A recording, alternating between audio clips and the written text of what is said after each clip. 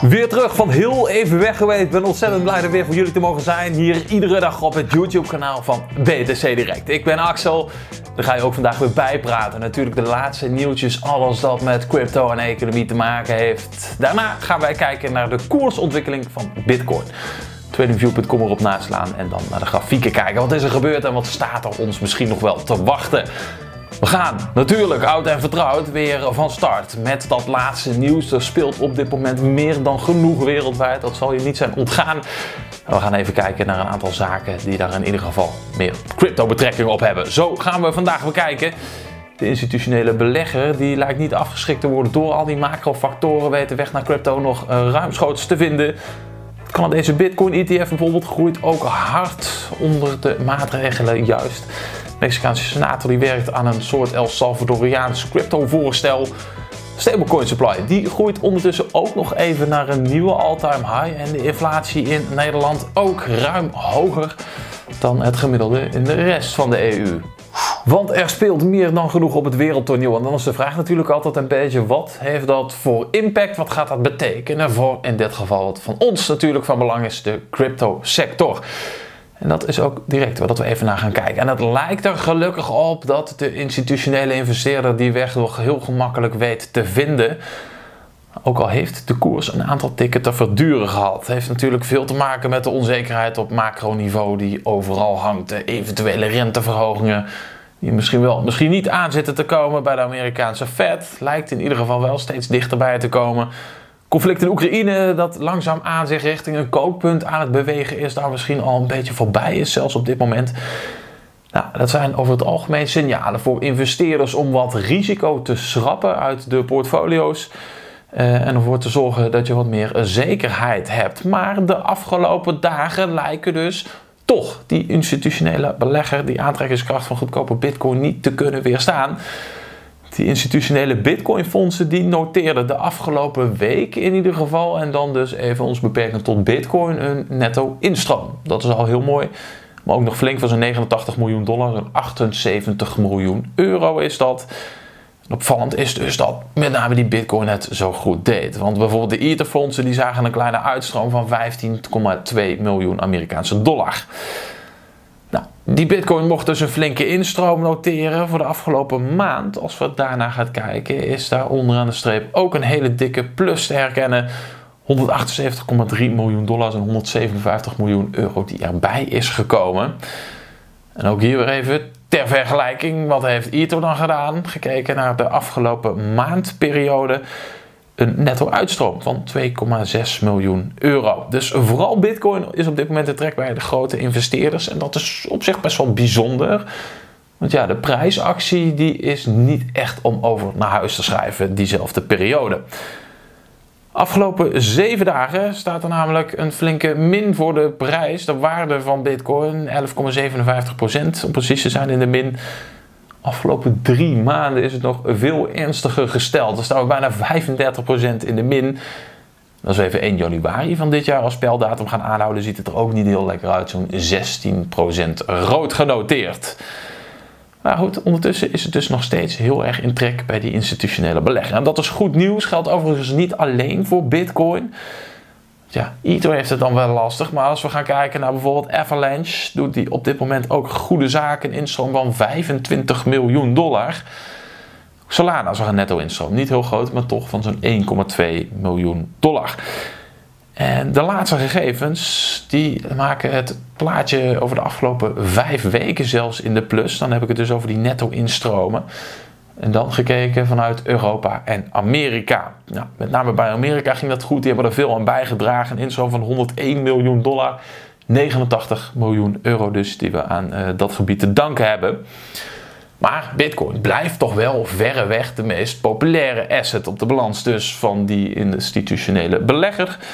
Totaal van 34,1 miljard Amerikaanse dollar aan institutioneel geld dat dus aan Bitcoin werd toegewezen. Ethereum staat wat dat betreft wel nog overduidelijk op de tweede plek, 12,2 miljard. Uh, daarna volgt bijvoorbeeld een Binance Coin en een Litecoin met zo'n 429 miljoen dollar en 192 miljoen dollar. Dus nogmaals, het is wel duidelijk wie er nog steeds op 1 en ook 2 staan. Die interesse in Bitcoin, met name institutionele interesse, die is ook vanuit Canada levensgroot, blijkt in ieder geval uit deze data. En dat is bijzonder, want daar is de omstandigheid op dit moment eh, zou je zeggen voor Bitcoin ook niet bepaald ideaal. Of in ieder geval, er wordt vrij actief op gejaagd, zelfs op dit moment door de overheid. Maar dat lijkt het juist een extra duwtje in de rug te hebben gegeven. Want de aandacht voor Bitcoin lijkt ook groter dan ooit te zijn daar. We bijvoorbeeld gaan kijken naar het Purpose Bitcoin ETF, het eerste en ook grootste Bitcoin Spot ETF in Canada, heeft de laatste twee weken zo'n 3403 Bitcoin toegevoegd aan de balans. En die holdings die zijn daarmee flink gestegen. Van zo'n 28.854 bitcoin naar 32.257 complete bitcoins. Dat is echt een stevige stijging.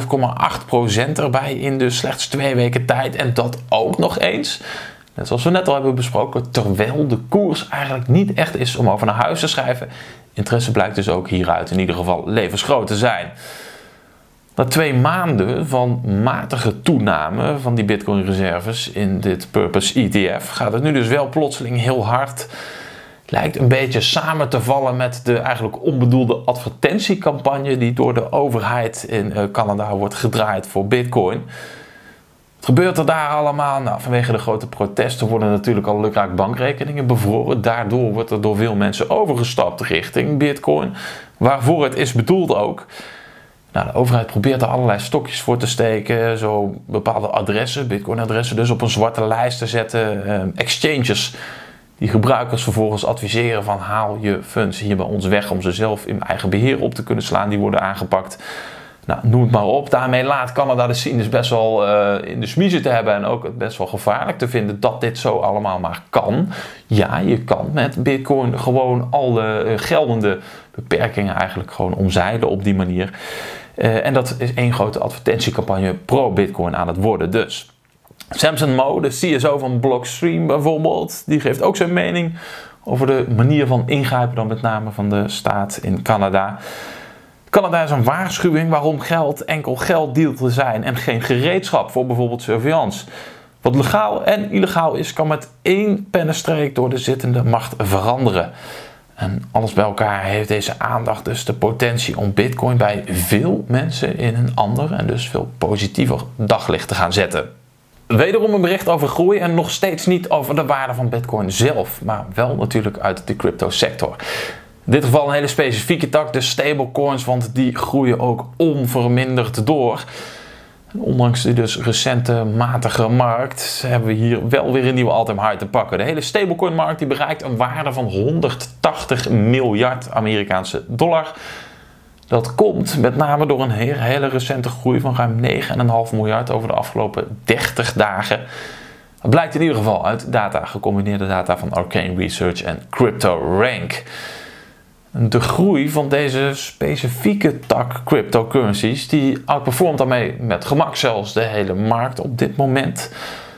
De afgelopen maand zorgde dat er ook voor dat er kortstondig even drie verschillende stablecoins in de top 10 van grootste crypto's stonden. Dat zijn dan USDT, oftewel Tether, USDC van Circle en BUSD, oftewel Binance USD. Die drie gecombineerd goed voor ruim 9% market cap van de totale uh, crypto-markt. Dus dat is echt heel erg stevig. En de toename die is wel opvallend, tenminste als we even verder gaan kijken naar hoe dat die precies verdeeld is. De groei van de grootste van het stel met een marktaandeel van zo'n 44% USDT, Tether, die lijkt steeds verder af te gaan zwakken. En ondertussen is juist USDC van Circle die groei aan het inhalen. Die groeit steeds sneller. Als dit zelfs zich zo blijft doorzetten, zou dat al gaan betekenen dat de market cap van USDC eind juni hoger is dan die van USDT, van Tether dus. Maar goed, hier zie je in ieder geval die grafiek, dus uh, samengesteld uit die data van onder andere CryptoRank. De groei die is niet mals, die blijft zich doorzetten. En je ziet inderdaad ook hier dat het aandeel van USDC steeds groter en groter wordt. Misschien wel ten koste van de groei die we hier zien bij USDT. In ieder geval interessante ontwikkeling, maar dit blijft dus ontzettend hard groeien. Kun je nog meer met dergelijke data van die stablecoins? Ja, in ieder geval wel als het aan deze tweet ligt. Want hier wordt namelijk gesteld dat historisch gezien als de dominantie van Tether rond de 4,5 tot 5 procent gaat bedragen, dat het een bodem aangeeft voor Bitcoin. Dat lijkt dus een soort peak 4 aan te geven. Op dit moment zie je dat ook weer die dominantie zit hier in die 4,5 tot 5 procent uh, zone. Dat lijkt dan ook weer een mooie bodem aan te kunnen gaan geven voor Bitcoin. Oftewel, er staat misschien wel weer heel veel stablecoin klaar, heel veel stablecoin geld om straks die markt ingepompt te gaan worden, waardoor er weer een mooie nieuwe rally zou kunnen gaan ontstaan. In ieder geval blijkt dat ook uit de data van deze specifieke takken van crypto gecombineerd. Canada is er doodsbang voor en lijkt het juist zoveel mogelijk weg te willen gaan drukken op dit moment. Dat lukt dus niet, werkt eigenlijk meer tegenovergesteld. Maar gelukkig zien we toch ook steeds meer omarming. Zo lijkt dat ook meer aan de orde te zijn vanuit Mexico. Want de Mexicaanse senator die werkt namelijk aan een heuse crypto-wet à la El Salvador. Gaat in dit geval om senator Inida Campis in Mexico dus. Die heeft aangekondigd dat ze heel goed wil gaan kijken naar de wetgeving in het land. Uh, en die een beetje wil gaan afstemmen zoals die op dit moment ook aan de orde is in El Salvador. Waarom? Nou, vanwege de positieve resultaten die ze daar in ieder geval hebben gezien. De omarming van Bitcoin dus in dat land al heeft weten te brengen. Want volgens haar kan een erkenning van Bitcoin echt als uh, wettig betaalmiddel dus in het land voor grote financiële inclusie gaan zorgen. Daarom is alvast gestart met het opstellen van een cryptocurrency wet. Later dit jaar nog moeten geïntroduceerd gaan worden. Dat zou dan moeten gebeuren bij het Mexicaanse congres. En vanuit daar zou dat dan uiteindelijk dus eventueel geïmplementeerd kunnen gaan worden. En ook echt haar magic kunnen gaan uitwerken. Waarom wil ze dat zo graag? Nou, die financiële inclusie, juist waar dat het zo'n mooie oplossing voor is, is volgens haar een van de grote publieke problemen op dit moment in het land. Tot nu toe eigenlijk weinig concrete oplossingen die zich daarvoor aandienen of die er überhaupt bestaan. Ja, volgens haar is bij deze technologie, crypto dus, een oplossing voor dit probleem en moeten ze daarom ook heel snel iets concreets daarmee gaan doen. Campus is geen uh, nieuweling wat dit betreft, is al jaren uitgesproken voorstander van crypto, promoot dit dan ook al sinds ze zitting heeft genomen in 2018. Daarvoor zat ze zelf al enkele jaren in de sector, heeft daar ook een heel belangrijk en goed netwerk daarbinnen kunnen gaan opbouwen. En nu wil ze dit dus ook echt gaan uitdragen en toepassen via de politieke kanalen, die natuurlijk ook steeds beter en groter en sterker worden. Langzaam maar zeker lijkt dat geluid zich ook binnen die politiek eh, te gaan verspreiden. Ook daarbuiten, bijvoorbeeld de Ricardo Salinas, eh, Mexicaanse ondernemer en miljardair, die roept mensen in het land ook al langer op om zich te gaan verdiepen in Bitcoin, er het liefst ook echt in te gaan investeren, omdat ook hij het ziet een enorme potentie en een enorme oplossing dat in ieder geval kan zijn voor die financiële inclusie die er ooit nog wel aan schort in het land. President van Mexico tegelijkertijd, uh, Andrés López Obrador is dat, die heeft de afgelopen oktober nog uitgesproken niet te verwachten dat ze op korte termijn in die voetsporen van El Salvador gaan treden. Maar ja, hoe sterker de roep vanuit die politiek, hoe reëler dat dit natuurlijk alsnog een plaatsje kan gaan krijgen. Nieuwe cijfers naar buiten gebracht door Eurostat. En dat zijn dan cijfers die gaan over de inflatie in eigenlijk de hele eurozone. Met name dus ook Nederland in dit geval. Ziet er niet heel erg goed uit.